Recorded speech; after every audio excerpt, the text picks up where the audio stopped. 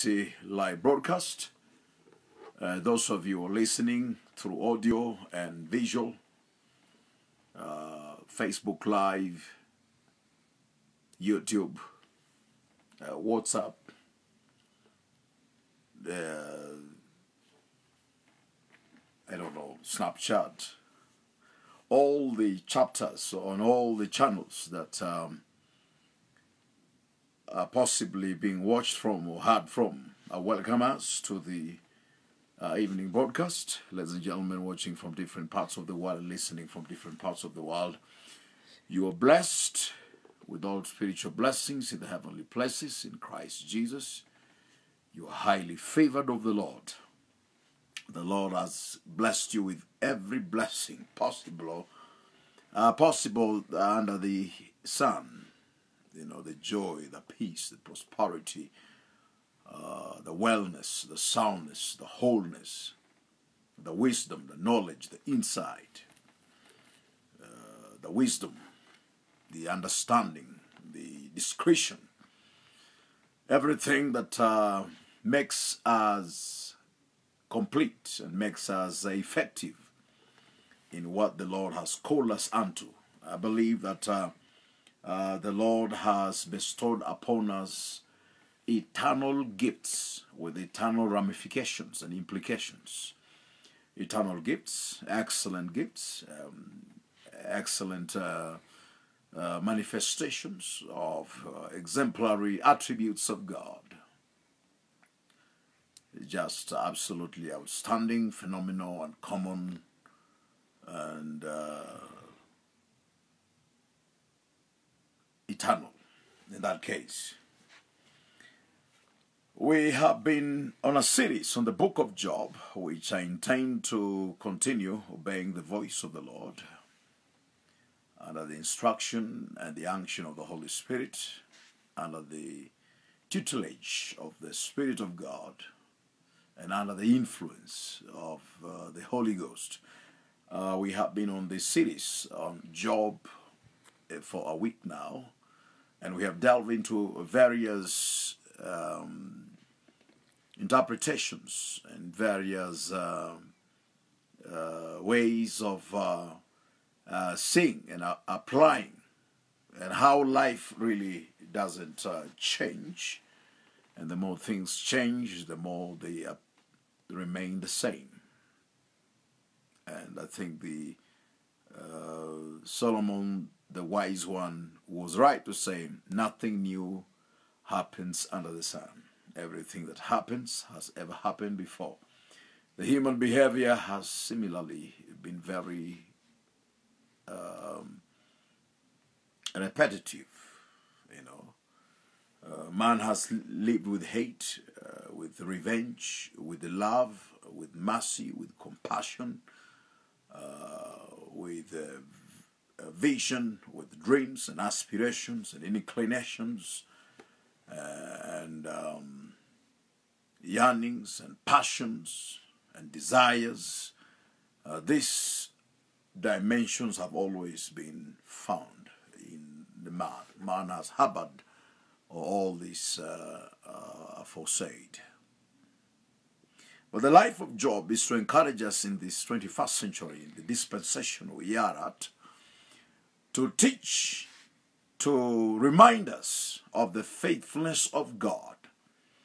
That we even uh, that uh, when we think we have lost it all, that even when all odds are against us, when we have inadvertently or advertently, uh, by omission or commission, have failed or not risen to the mark, we are reminded that the faithfulness of the Lord uh, endureth forever the goodness and the mercy of the Lord endureth forever.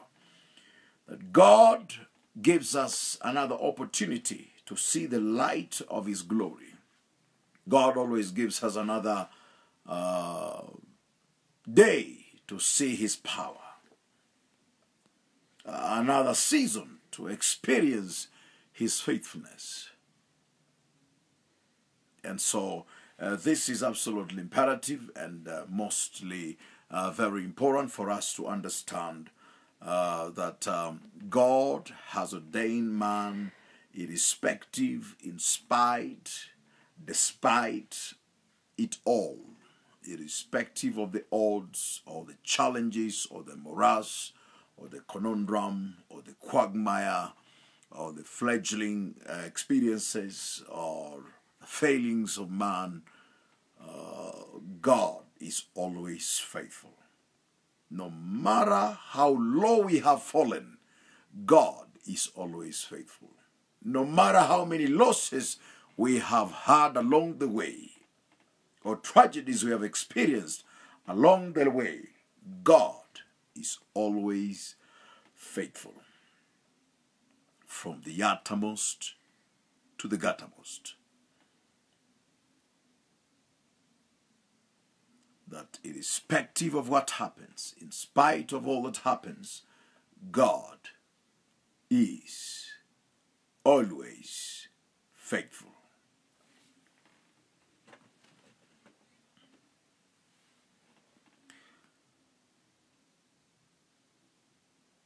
Did you know? Throughout ages, God has always demonstrated His power. God has always demonstrated His glory. Whether in the old dispensation or the old order of things, or the new order, or the new dispensation, or the uh, dispensation of grace, or law, God has always been forever at the peak of his power and glory. But this is only comprehended to the measure and the level that you have the revelation of his faithfulness and of his power. The ability in God, the capacity in God to create and recreate, to bring about that which would seemingly be impossible the capacity in God to enable us to rise up irrespective of how low we have fallen. God's power is very present, for He is our very present help in times of need and trouble. The Lord is our keeper, the Lord is our shield and buckler, the Lord is our present help in times of need and trouble. The Lord is our shade at our right hand. The Lord is our Ebenezer.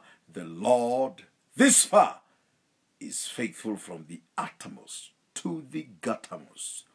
From the rising of the sun to the going down of the same, the faithfulness of the Lord endureth forever. The loving kindness of the Lord endureth forever the mercies of the Lord endureth forever. The steadfast love of the Lord never ceases. His mercies never come to an end. They are new every morning, new every morning. Great is thy faithfulness O Lord. Great is thy faithfulness. You see the tender mercies, the loving kindness, the goodness, the faithfulness of the Lord. They are new every morning. Every day is a fresh day.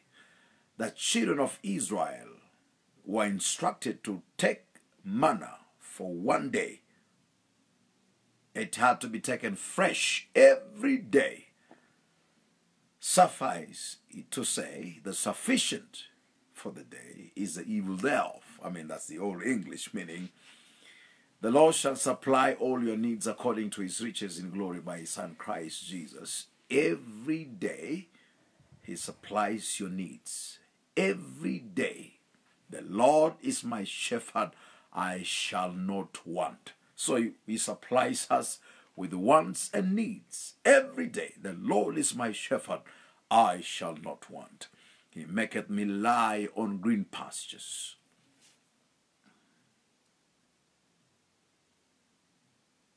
We shall not want for anything. In fact, Jesus later says in the New Testament, In that day ye shall ask me for nothing. Ask that your joy shall be made full. What did he mean by saying that? He meant this particular day. He projected the post resurrection season. Those of you missed the resurrection season, please, I refer you to go back to the teachings of last year and this year of the live broadcast uh, on the resurrection, the pre resurrection and the post resurrection, and the post resurrection manifestations and effects and the benefits of the post resurrection. Because the testament, for a testament to be in place and practice and in fact and to be in power, the testator has to die. So it takes three things for a covenant to be sealed or testament to come to effect the shedding of the blood, the oath, and the promise. So he had to die, shed his blood, die, rise up from the dead again. Then the testament, the grace will be effected. Praise God. So uh, the scripture is very succinct. In that day ye shall ask me for nothing. Which day was that? It is this day we are living in today. When we delight ourselves in the Lord, he shall fulfill the desires of our heart. Ye shall ask the Father anything in my name, and that I will do, Jesus said. Ask that your joy shall be made complete, that your joy shall be made full. The perfection of your joy is the joy of the Lord. The pleasure is of our Father is the perfection of our joy, the completion of our joy. Be not afraid, O ye little flock, for it is your Father's pleasure to give you his kingdom. What kingdom is that? The kingdom of power, the kingdom of miracles, the kingdom of signs and wonders, mighty divine orchestrations, supernatural acts. For we are the workmanship of God, created unto good works. We are the workmanship of God, created to walk in the preordained paths. The workmanship of God created unto good works to walk in the preordained paths. Your path, my brothers and sisters, is already ordained. The path of the righteous shineth to the perfect day of the Lord. It shineth day by day, moment by moment. For we are not of they that draw back to perdition, but we are of they that to walk in crescendo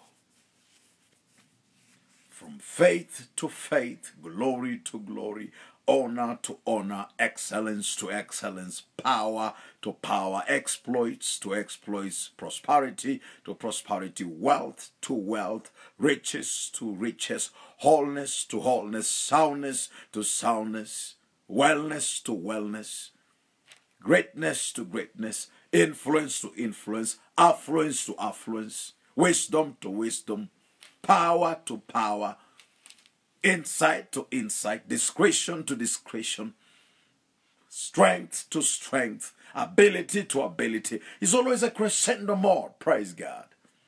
God does not diminish the abilities of God or the capacity of God or the nature of God is not to diminish. It is always on crescendo, not diminuendo or andante, but to crescendo crescendo, upward trajectory movement, improving, praise God, successive movements, forward always, backward never, progressive and not retrogressive, proactive and not passive. Praise God. Alive and not dead.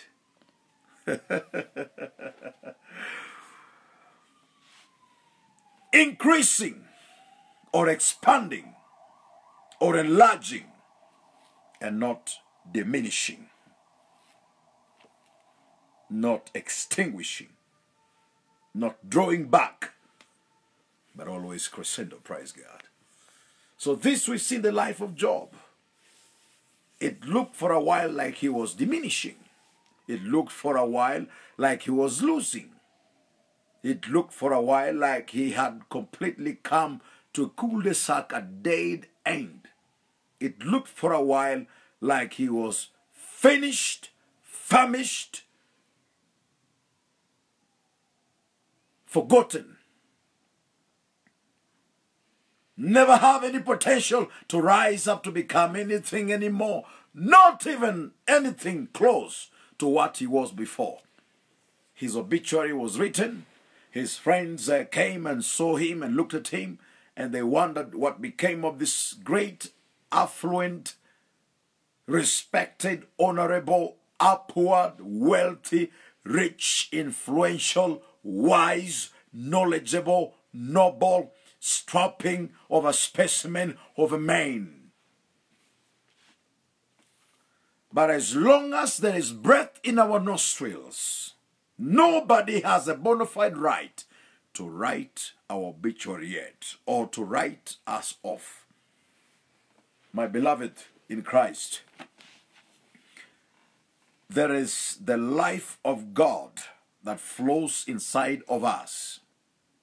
I think I'm going to do a series again, which I have done before, but on a different le- level of uh, um, revelation on, on the life of God or our lives in Christ. So the life of God is in us, doing wonders.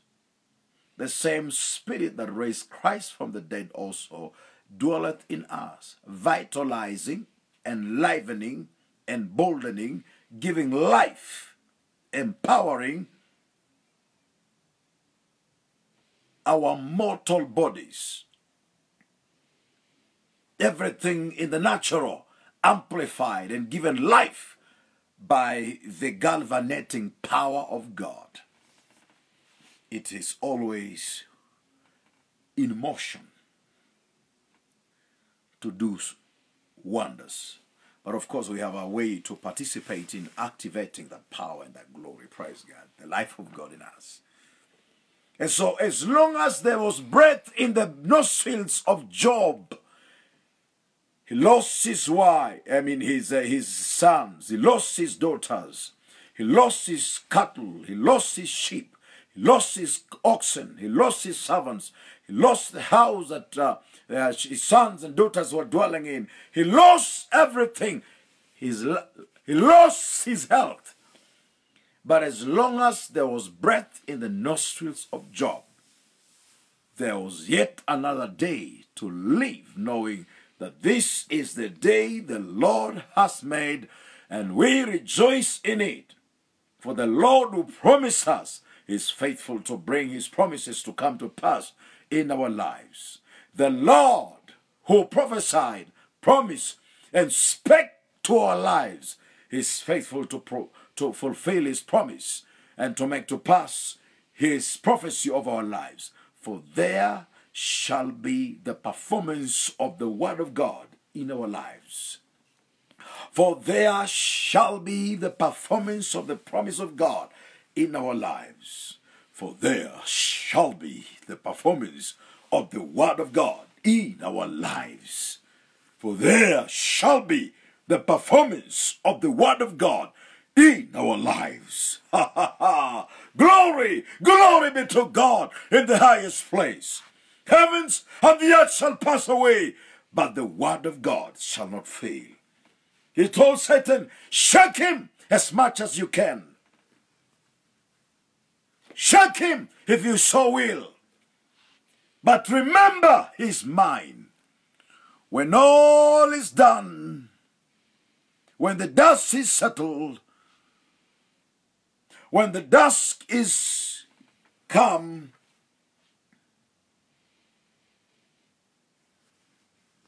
the crying and the tribulations may endure in the night. But don't forget at the breaking of the dawn, joy cometh in the morning. Woo! Hallelujah! Hallelujah! Hallelujah! Hallelujah! Joy cometh in the morning.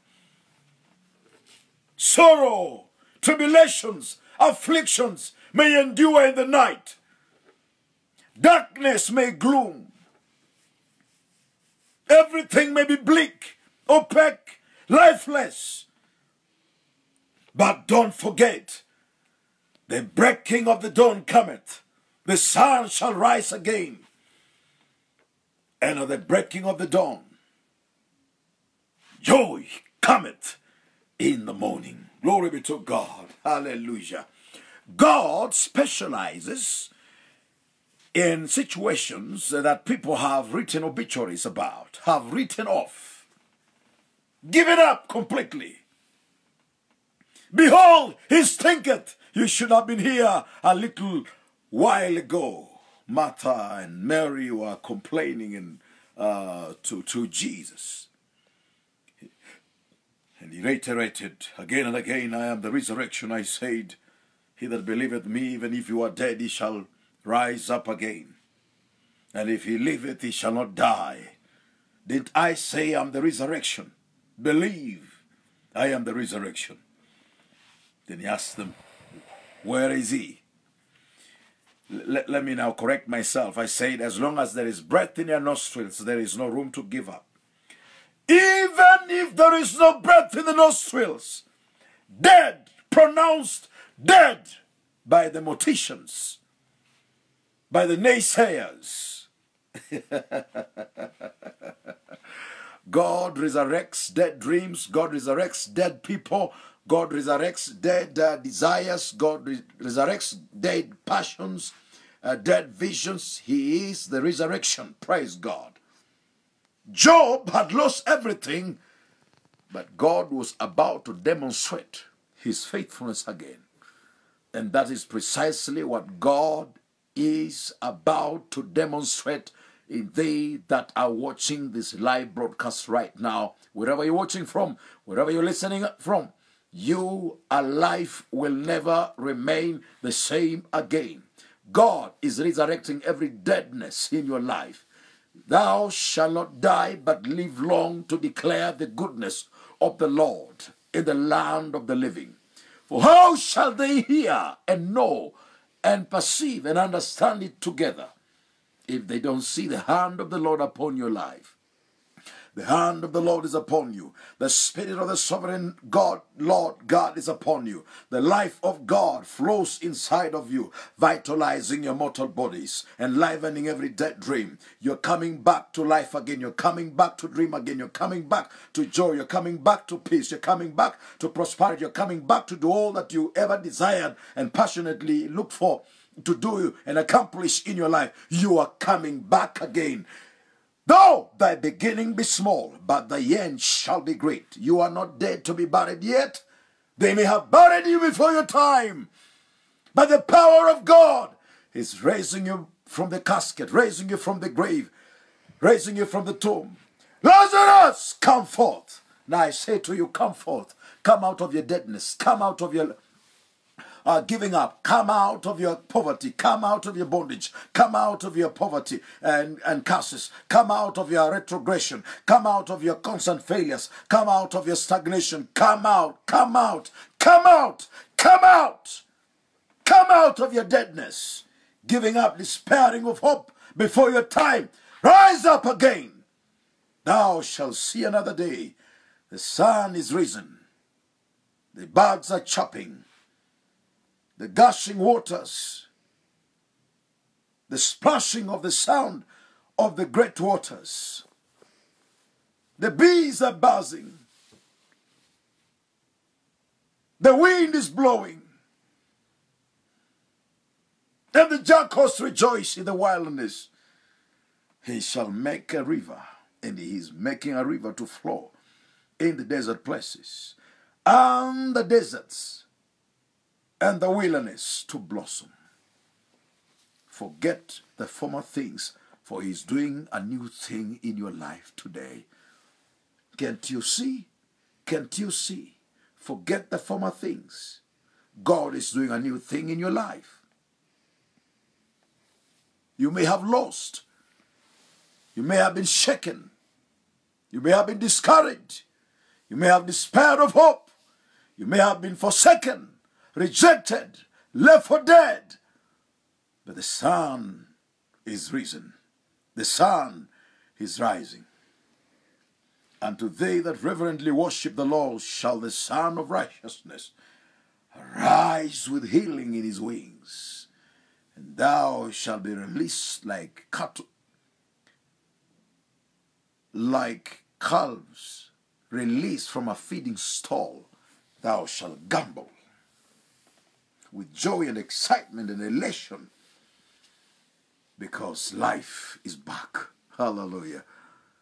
I will continue the same. Don't miss the, the next broadcast. Don't miss uh, what I got to uh, bring forth from the kitchens of heaven fresh, smoking, fresh manna, fresh bread, fresh, fresh, enlivening, empowering, resuscitating, recalibrating. Oh, hallelujah. Glory be to God. God bless you in the name. Father, bless your people. Bless them abundantly in the name of the Lord our God. Job may have lost, but you restored him back, Lord, fully. He had double for everything he lost. Your people may have lost, but you're giving them more because the life of God flows in them, vitalizing everything, bringing back to life everything lost, even much greater dimension in their lives. Father, I give you praise for blessing your people, reviving them, empowering them, oh God, blessing them in a great way. In the name of Jesus, there will be testimonies of the manifestation of the faithfulness and the power of God in action in Jesus' name. You may be listening the broadcast and you have never had an experience with Jesus as your Lord and Savior. And this is an opportunity for you. I'll pray with you. You say with your mouth that Jesus Christ is Lord and he was raised by the Father on the third day. And he shed his blood for the remission of your sins. With your heart you believe unto righteousness. That Christ is the righteousness of God in our lives today. So say, say, Father, in the name of Jesus, I open my heart to receive Jesus as my Lord and Savior. With my mouth I confess that Jesus Christ is Lord raised from the dead on the third day, shed his blood for the remission of my sins. With my heart I believe unto righteousness. You are the Lord, the Redeemer, the King, the God over my life. I give you praise in Jesus' name. Amen. God bless you. Always a joy to bring us the word. You will never fail with the word. And remember, God's faithfulness abides in your life forever. You will never, never, never fall into insignificance and irrelevance. God will, the Spirit of the Lord will always bring you to a place of relevance, significance, and a place of prominence. God bless you. Job lost, God bless him double.